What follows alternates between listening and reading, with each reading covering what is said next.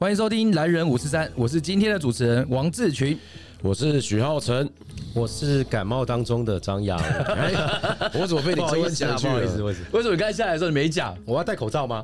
哦，不用不用不用，因为因为其实我自从接了这个代理总教练之后，我的声音从第一场到现在都一直保持着这样这么有磁性的声音。对，沙哑是不是喊到沙哑？真的哦，真的我以为说你接着这项这个任务的时候，你全身都是病毒。哦，没有没有没有。通常在这种就是在准备比赛的时候，因为你全身会绷得很紧，对，所以你基基本上你就算你身体有病毒，你的肾上腺素也会把它给杀死。但通常呢会在感冒的时候，就是在那种比赛赛季结束，压力释放期啊，哦那个对。就会容易感冒。诶，我们这有录影真的。那你再帮我后置那个，全身绷得很紧嘛，摸摸看。真的，我跟你讲，真的真的，就去年刚好那个中华白嘛，对。就跟跟群哥合作到，就是说中华白那时候在哦，一连接着打八天比赛啊，你都不会感觉到累，我那张力很强。对，一天都只大概只睡三四个小时，你在想说要怎么打怎么打，然后什么对，哦真的不骗你，一打完之后隔天就真的哇身体不舒服，肾上腺素爆发，然后后来就是就没，收掉。对真的真的没有，确实是这样子啊，真的在赛季当中，那个张力很强，然后整个人很紧绷的时候，真的是抵抗力非常好。嗯对，那你们这样讲说，我平常工作不紧绷，所以所以才会感冒 所以。所以 对对对，这很明显的，我对啊是不是很明显我会被开除啊！不要被 thank you 啊！我讲你现在算是未来一没有没有没有未来未来本本土本土住了，对不对？我我们这一集到底要讲什么？那我们今天要讨论的大概是上周的两场比赛。对哦，第一场就是台新对上呃高雄海神，嗯，然后第二场是中信对上高雄海神。对，那第一场我们从第一场开始讨论到一月十二号的战神对上高雄海神这个比赛的内容。首节战神的禁区吴大人库萨斯跟艾伦携手拿下十七分八篮板，哦，整个队在第一节那个篮板数哦是有落差的，对。十八比四。对。哦，战神的领空根本没有优势。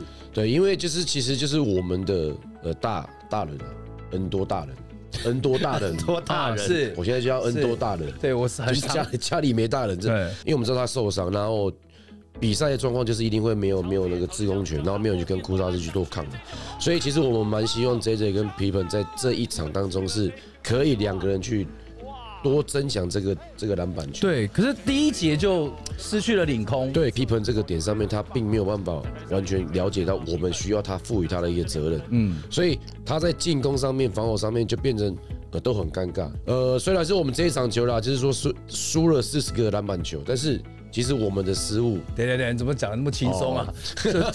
就就输了四十个四十个篮板球但是其实你说但是你哎其实你想，四十个篮板球当中，我们大概有被只被抓了十五个进攻篮板球。哦，那反观拍手喽。对，没有。但是反观就是说，我们被对方抓了五十几个篮防守篮板，所以是我们的命中率太差，才导致他们有那么多的一个防守篮板球。我也想要打造的是一个快速的一个球风，然后一个球队，然后再就是一个外围投射数量会比较多的一个球队。假如能够把这个外围的命中率再提高的话，我相信可能我们的获胜机会会比较高啊。对，确实篮板球的数量，它当然不单单是来自于就是所谓我们在讲呃防守的阵型的改变，对，也要取决于对方的命中率高不高。嗯那你在整场的比赛当中有没有呃改变一些防守的策略啊，然后让海神他们在命中率有下降的这个情况？对，因为其实，在我们 Brian 教练他的体系当中，他原本就是还是 NBA 教练体系嘛，他比较少会有一些区域的变化，所以当然我们在这一场当中，我们呃盯人区域啊一直在做不同的一个变化，包括有去包夹中锋，后来他们今天因为啊阿雅受伤了，那其实替补上来的邱子轩。在这一场的命中率其实也投得非常好，所以就变成让我们要包也不是，不包也不是，对。戴哥，这个我刚看了一下数据哦，就是发现一个很惊人的事实，就是这场比赛你们已经少了两个老外了嘛，对你们可以用的是两个。对然后呢，强森他上场四十三分钟，对没问题嘛，因为要靠他嘛，保护禁区、巩固篮板。那皮蓬呢？皮蓬他只有抓一个篮板，对他上场时间只有十三分钟，等于说整场比赛你们大概就是用一点五个洋将在跟对面打，这样子。一点三个吧，因为你四十八分钟，他只打了十一分钟，他就只用了只用了四分之一嘛啊，四分之一，四分之一。对，所以就是说，皮本现在比较大的问题是说，他在我们的攻守体系当中，他平常练球其实真的也很认真，可是要到比赛现场去的时候，你就发觉他的 focus 没有在球场上，有点感觉在放空。神游吗？对，所以就是说，如果假如说我持续把他摆在往上，当然或许或许他在保护篮板那一块是可以，可是他对于我们整个的一个进攻节奏来讲，跟我们原本的系统可能会有所出入。那不如让本土的四号辉哥去扛到四号位置去，因为毕毕竟对面也是龙帽，至少可以让我们在这个虽然是虽然是输球，可是我们整体的一个进攻的节奏跟体系不会因此乱掉。那那这样皮蓬还有什么价值呢？对啊，呃他会被 Thank you 吗？好这个问题呀这个这个确实是在我们在我们的考虑的选项之一啦。对，那就是接下来我们还是一样会寻找一个更好的一个外援。然后，如果假如说真的有不错的外援的话，那可能就是这个就是一个从一个选择题变成是非题，然后再变成可能就真的是正确答案的就。机票就可能哇，那那你时间要抓紧一点哦。对对对对，因为现在赛程好像已经过了快要一半。对你们有现在在想哪些呃杨将了嘛？已经在找有有有有，现在我们都有有老面孔吗？呃没有没有没有没有，都是哦，因为我们觉得就是要符合今年联盟的一个 slogan，想不到吧？想不到吧？你说谎这样子。我们不会找找那些就是以前看过的啦，对啊对啊。那张扬呢？对于这一场，你觉得有什么好的一个建议可以让？其实群哥，我一直以为我们这一期节目要录另外一个主题，对我想到的主题是帅到分手。为什么呢？因为我觉得上周 T One 来讲，最让球迷讨论度最高的消息，就是 Michael Olsen 教练跟菲克被 Thank you 了嘛。对。Michael Olsen 教练是云豹教练嘛，然后球队十四连胜当中是。啊，四连胜的教练战绩第二名，快要快要超过第一名，想不到吧？想不到，真 想不到，有有人想得到吗？不可能啊，对啊，想不到。正常逻辑来想，都觉得说，哎，而且等下 Cousins 要来了嘛，对。所以就说，哎，一个外籍教练他跟 Cousins 的沟通，用英文来讲，应该可以。会比较亲切感啊，对，最最直接，他应该会比较有这个说服力嘛。对。结果想不到，嘿 o l s e n 教练被 Thank you 了，对，上周这个新闻出来，真的是有惊讶到。有啊有啊有，真的，因为这个新闻一出来的时候，我就很紧张，我马上打问老板说，我现在连二连败，那会不会四连败之后 换我被 thank you？没有，他是四连胜，所以你要先四连胜对才有才有赢球才可以离开。对对了解了解了解，原来是我自己想太多了。对，想太多了，想太多了。你要先四连胜。好好好哦，这确实是一个蛮震撼的消息。群哥，你有想法吗？就是针对这件事情，因为我们这里也没有云豹教练嘛。不是连胜，连胜改变阵容还是我第一次遇到。对对，那当然他可能是有一些内部的一些做法，就像呃云豹他对外也跟大家说明这一点嘛，可能在防守上面他们需要更呃更好的一个体系，对他们未来是会找了一个防守教练来，因为我突然就想到是有防守教练，那台湾防守著称的教练，哦，Coach Roman。哦，这个就，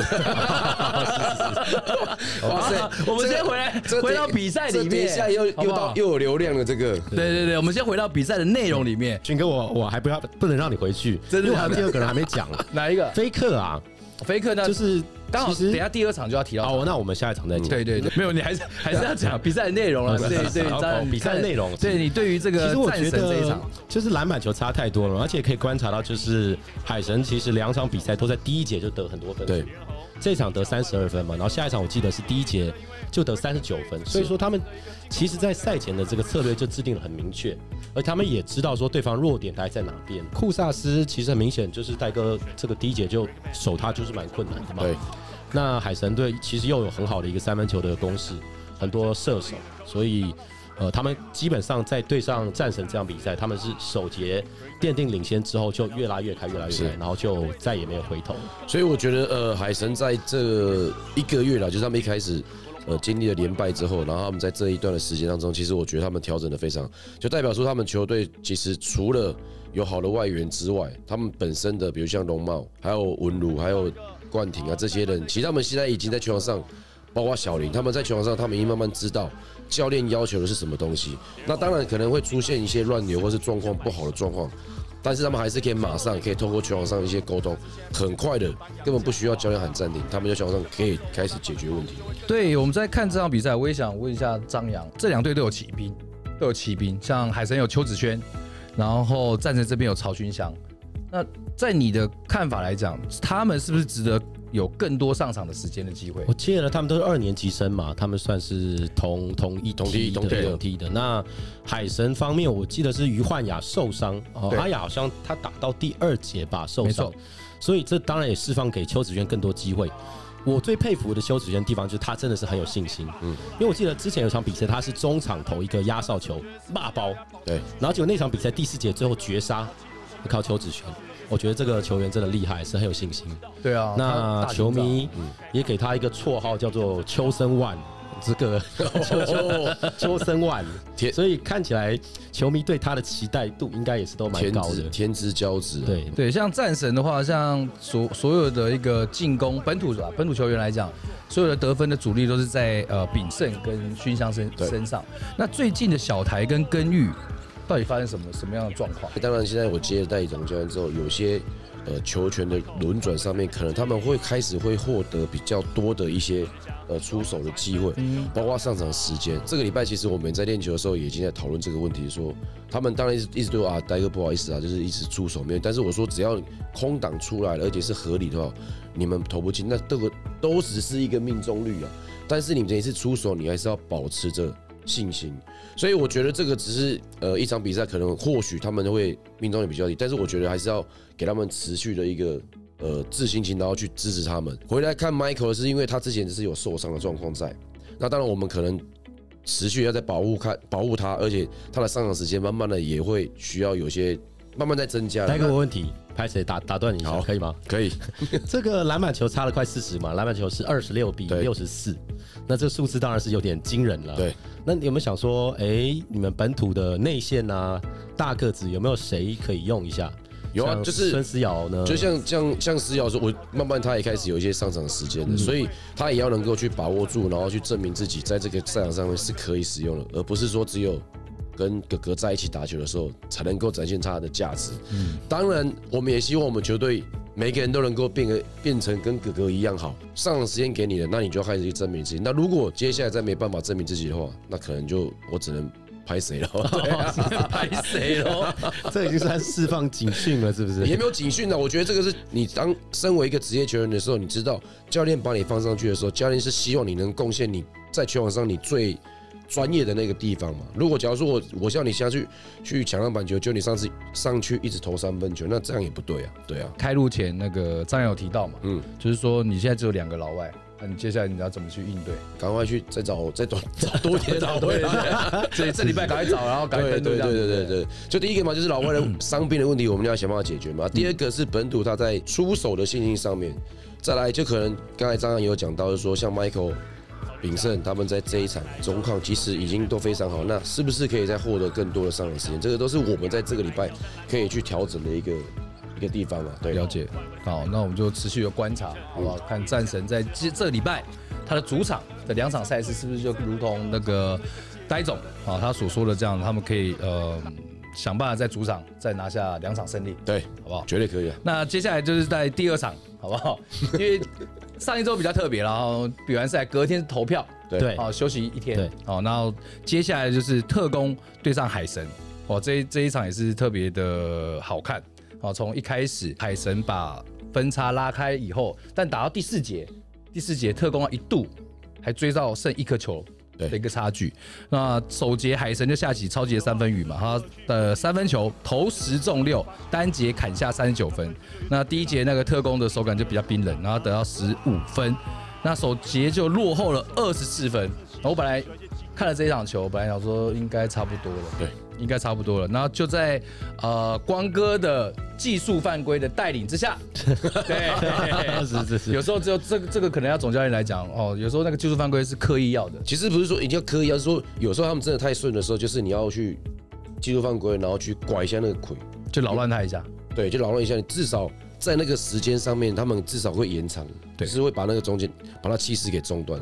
但是我觉得这个也要那个球员够挺你啊，如果你球员不够挺你的话，你还一个技术犯规之后，就分差越拉越大，更乱对不对所以我觉得中信的球员真的是很挺光哥啊。这一场比赛，呃，也想请教一下张扬。好，那他们有开箱了，特工他开箱了一个新的洋将泰隆，泰隆你觉得怎么样？呃，我还是先缅怀一下菲克啦，因为真的以中信来讲，这个联盟第一战绩嘛，然后菲克个人的表现也是不错的。不过我也查了一下菲克的这个三分球啊，确实是不太行。我记得他是只有投进四球吧，一个整个赛季有，二十三投四中，对，这是非常非常低的一个三分球命中率。他刚开始加入到联盟的时候，有很多女球迷就特别关注菲克嘛，因为长得帅嘛，然后呃，然后球技也好，是对那这现在看起来跟中信的配合也不错，所以我觉得中信把它割舍掉，确实也是觉得很可惜了。那他看起来他们找这个泰隆啊，第一场的开箱数据很全面了，得到二十几分嘛，然后各项数据都有。然后教练光哥有称赞他的这个个人能力嘛，然后相当出色。但是就是目前，因为这毕竟是第一场，嗯，所以跟球队的配合看起来还需要一些时间了。所以尤其上半场看起来。一开始中信就落后比较多，那我看到这场比赛上半场中信最多落后到二十七分，所以那个我跟群哥想的一样，是想说，嗯，这比赛应该没救了。对，没有悬念这。怎么可二十七分？但是就我看到第四节，还有一度是我记得还有超前一下子，嗯对对，确实是非常神奇了。那我倒觉得海神在后面是有点，倒是领先太多了，后面稍微有点松懈，那导致被分数被中信追上。对，毕竟中信特工他就是一个防守著称的一个球队了哦。那可能在第一节遇到海神这一波的大乱流，他们可能没有办法找到好的节奏。再来就是新的洋将开箱哦，那跟平常在训练的一个打法哦，到了这次比赛的打法还是有一点点的卡卡的啦。对，但是其实我跟两位比较不一样的是说，看到第一节他们落后到二几分的时候，我其实没有太多的意外是中信他们会追回来，是因为他们原本就是靠防守起家的，是所以他们第一节可能他们也不知道说海神他的一个外围的命中率这么的高，光跟那个技术犯规之后，他们在加强他们的一个防守压力之后，慢慢把这个十分给收复。本土有阿巴西。然后他们还有两个艾克里斯克里斯跟那个艾德，艾德其实他们这两个也真的非常的有经验，所以分数追回来，我真的觉得也并不太意外。新开箱的泰隆，虽然说表现没有到像那个那个菲克菲克那么的亮眼，可能是第一个就是外外外观。你说你长相啊？我以为你说表现呢，我想说表现好像我只是觉得，蛮好的啊我。只是觉得可能中信，因为他们已经拿冠军之后，他们欧洲市场已经拓展开，可能要拓展到牙买加市场去，所以我觉得他们，但我觉得他们可能也是要试看看有没有不一样的一个火花在，因为毕竟他们是要去建造那个阵容是能够夺冠的，所以他们一定也在看说，呃，不光海神啊。我们这里啊，然后或者是云豹，嗯，或是猎鹰，他们的阵型来讲，是不是如果怎样的有不一样的调配的话，对于他们今年的二连八来讲，会有比较大的一个帮助啊。不过这一场中英特工比较伤的是阿巴西，他犯满毕业。对对，那阿巴西这场比赛得分也不是特别多。那其实对阿巴西的个人得分，当然对中信来讲，能不能赢球是有非常直接的一个影响。那我想讲海神这里第一节的三分球就非常准，那特别想提林任宏。小林他在第一节一个人就投进了三颗三分球。原本射手于受伤之后的这个下一场比赛，那小林他的三分线是有一个很好的发挥，也帮助海神队在前半段奠定足够的领先胜机。那最后虽然是有点把钱花的比较多，但还好后面还是 Brigman 嘛，那带领球队去挺住，然后赢下这场胜利。这样，我也想问看呆哥了，呃，Brigman 真的很难去防守住吗？因为像他这一场对到中英特工，中英特工是防守著称的球队，他还可以在这一场拿下大三元，对，好能攻能守，又能够组织串联所有球队的攻势。对于一个教练来讲，你未来你会再遇到他，你要该怎么样去？第一个，我觉得他 Breakman 他在整个的一个不管是自己组织，或者是在助攻给他的队友身上面，其实他真的他现在我我真的觉得他现在应该是呃现在台湾来讲最好的一个后卫，当然还有伟岸在，伟岸大家也可以期待的表现，但是我是觉得，因为现在不管是呃这一场的林振宏，或者三场对到我们的邱子轩，他们在整个外围的一个命中率都提升的话，其实大大就会加大了防守球队的一个困难度，因为他不管你要怎么内缩，他穿越外围，他们都没有办法把球投进的话，这个其实你就是会比较无解。第一个，我们如果能够呃用比较大 size 的球员去守到 Breakerman 的话，可能在他的一个传球路线上面是会比较好。那第二个方式就是你让 Breakerman 就是单单守他，让他自己去得分，让他自己去干嘛去做任何进攻 finish 都没有问题，只是消耗他的体力，然后断掉他跟其他队友之间的一条线。对嗯，因为我们都在讨论到外援，对，有没有哪些本土？你觉得我其实想讲另外一个点是教练。那那因为呃有蛮多教教练我在访问教练的时候，他们有跟我讲到海神的主场特别难打。那难对对难打特别难打，对几个原因呢？当然就是海神他主场的气氛氛围营造的相当好。再来，教练都有跟我说，他们觉得嗯主场的哨音都会就是很明显？他们觉得就是会对球客场球队比较不利，嗯就来对海神来讲，那就像其实这样比赛，光哥也有对也是这个爆发之后哎，其实中间后面追上嘛。那群哥怎么看？就是说，我想我想问你，就说呃，海神到底他们是这个主场优势是很明显吗？还是说就以联盟来讲，觉得是这样？比如说这样的吹判的尺，这应该可以问，可以啊尺度都是 O 都 OK 的对嘛？其实我都在现场啊，嗯有时候在现场看，通常都是落后的那一方跟输的那一方，哦，常常跟就会跟我讨论到就是裁判的问题。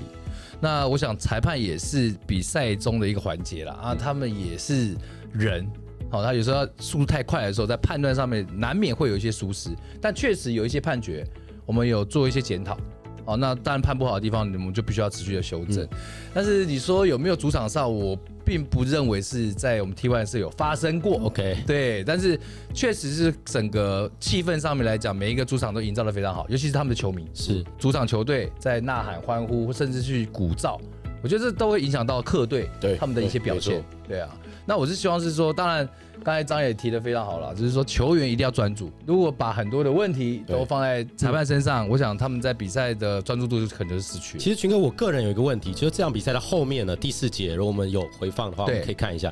第四节，当时有一个关键 play 是当时好像特工的杨将吧 KK 忘记是哪，哎，他他好像就是呃两次运球，那个对对对 play，他如果没有被吹二运的话呢，那中信极有可能在那时候就把比赛打回来，或甚至那场比赛就赢下来。对，那我觉得那个判决算是相当的关键。对。那我想问群哥，就说，当然裁判裁判的角度可能觉得说，哎，这真的确实二运，或许在规则上也确觉得是二运，但是因为我平常也转播 NBA 嘛，大家也知道 NBA 就是一个商业联盟，是。对，这个判决其实从某种角度来讲，中信并没有因此得利，那就是等于说他也没有获得一个往禁区切，或是上罚球线，或是有这种好的进攻的机会。是那会不会像这种吹判，那是不是可以说就是就裁判让球员去决定比赛这样子？昨天刚比完赛，今天其实我们就裁判也跟我开会，对我也想要针对某一些的判决，然后听听看他们的想法，而且这是有回放的。是对那有没有碰到球，这很关键。再来就是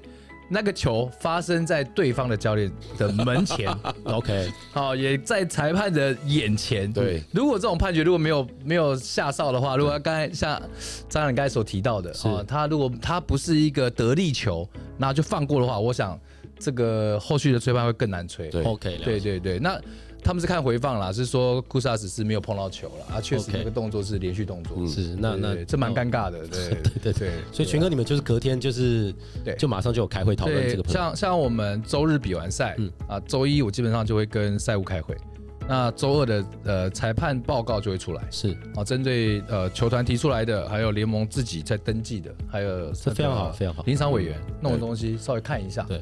对，那都提供给球团了，但你说能不能从头到尾都吹到百分之百？但也没那么容易。对但是一致性要很重要。我想很多球团都跟我反映吧，就是说，哎，怎么上半场可以身体接触，而下半场不行？我觉得这要讨论。对对啊，这这个是不断的进步。现在搞到最后变成哎反过来问，对我再问过去，有一些问题我就好拉快快拉不回来了。我是带球迷去问的，对对对因为球迷讨论，我们都会我都会看嘛。当然当然球迷当然现在讨论度最高的对对对，我觉得我觉得这个是这个也是职业联盟必须要去面对的一个问题，是说。当有越来越多球迷关注你的时候，他一定会有越来越多的问题想要提出来。那他们不管是专业或不专业的，那身为联盟方或者包括我们球队方，一定要想办法去解决这样子的问题，去面对这样的问题啊。所以裁判也是有考核啦，也是有绩呃绩效啊，然后当然这个对于他们未来能不能再继续的执法也是非常关键，对是好也是非常关键。群哥，我可以再问个问题？可以当然，群哥是现在是 T One 的这个秘书长，是现在有一个就是表弟他来台湾嘛嗯，Cousins 他要来台湾，但是呢，就是云豹这里帮他办了一个见面会。哦，这个见面会发新闻稿说哎有见面会哦，大家可以来参加，可以买买入场券。但是呢，这个见面会的门票啊，高达两万元。嗯，哦，这个大家看到想说，哎、你这个谁花两万块 去买这个见面会的门票？你是盘子吗？哦这盘子大到大象都装不下，五十名的这个入场，这两万块，我我当下我也是看到这个跟就是他们的那个见面参会的一个讯息，是。对我也看到这个两万块的数字啊，包括限量多少人啊，那他有一些什么提供的一些商品，我想这个都是球团他想要营造出来的一个只是说就行销，就联盟来讲，他没有跟联盟讨论嘛，他们对各球团，他可以自己主呃、嗯自己去设定他们的活动，是是然后这个是不需要是联盟来去呃认认同还是允许。是是是，对，那因为联盟的角色当然就是赛务行销，是是是这些东西。那这个两万块，当然那我想请问群哥，这可以问吗？你你个人的想法是什么？我喜欢的球星不是这一位，哦，OK OK 是，OK，就就艾弗森之类的，对，就会变。如果是如果是对，比如说艾弗森艾弗森那时候也蛮盘的，对对对对，他如果出了一些价格，那那每一个人都有喜欢的那个对对象。对对 OK 对，没错。对，所以那时候其实两万块算便宜吧？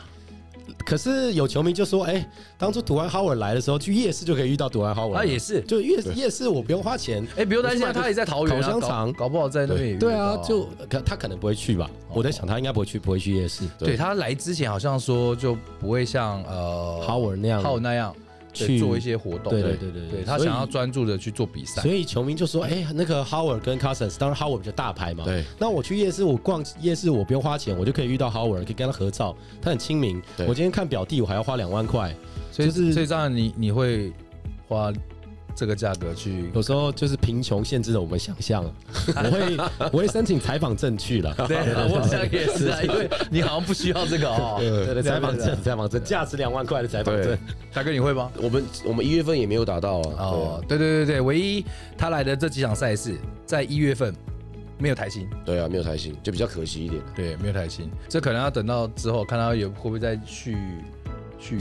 去会会吗？群哥，你觉得？因为他目前就是 限定就四场，他等于说有点他来的消息等于提前被爆出来嘛，嗯。爆爆雷就爆出来了，那就球迷就开始讨论说，他就是一个月一个月签啊。对，然后国外的这个 w a c h n o r o s k y 就是知名的 NBA 记者，就讲说，哎，他就是签呃短约，然后签十天，他是写十天，但是就是就是市场这样子。呃，原则上他就是一个月一个月签，他没有所谓的什么，他就是你说的什么市场球还是 OK，还是月10天薪啊月薪对，他就是月月薪啊。外援就是这样子，来适合就继续，但只是他的那个时间比较短。对，我第一次碰到月签的，对对对，我跟大家都一样，我们都是季签嘛，不是一季一季一季，或三个月三个月三个月，然后测试啊，十天测试什么等等之类的。所以我觉得这职业联职业联赛越来越蓬勃发展的各式各样的签约的模式也会慢慢出现。所以我觉得不管是联盟方或是我们这边球队方，其实你慢慢跟这些外援在接触的时候，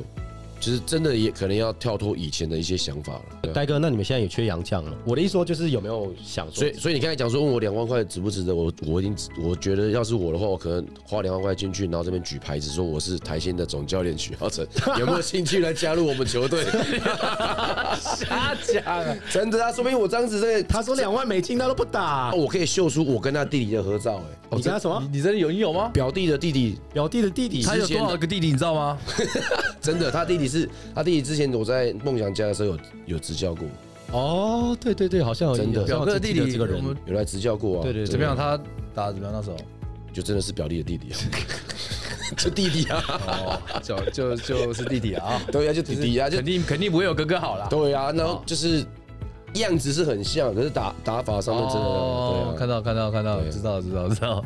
对，不过这真的是蛮值得宣传的一件事情哦，是啊因为等于说，呃，我们台湾去年有魔兽来，然后其实也不管是国内市场嘛，或是整个国际上的这个篮球的能见度、知名度都有很大的明显提升嘛。对没错然后现在 Cousins 又来，如果去年魔兽没有来的话，今年势必也不会有 Cousins 来嘛。对我觉得这都是好事。对对，啊，可以让台湾的环境哦，这些球迷都可以看一下，就是这些顶尖的球星来到台湾他们的表现，我觉得这也蛮不错对。，没错，那今天真的很开心啊，邀请到两位，然后我们在在现场这边，然后去回顾上周的两场比赛。那本周还是有呃两个主场的赛事，那也欢迎所有的球迷都可以进场支持我们 T1 的一些赛事。重要的是，Carsons 要来了，这一周哦，这一周云豹的主场他就会呃亮相，然后请大家就是持续的关注我们 T1。节目结束之前，提醒大家别忘了给我们五星好评，并且开启小铃铛，也欢迎大家追踪蓝人五四三的 IG。和我们一起畅谈篮球，我是王志群，我是许浩成，我是感冒当中的张扬，男人五十三，我们下期再见，拜拜。拜拜。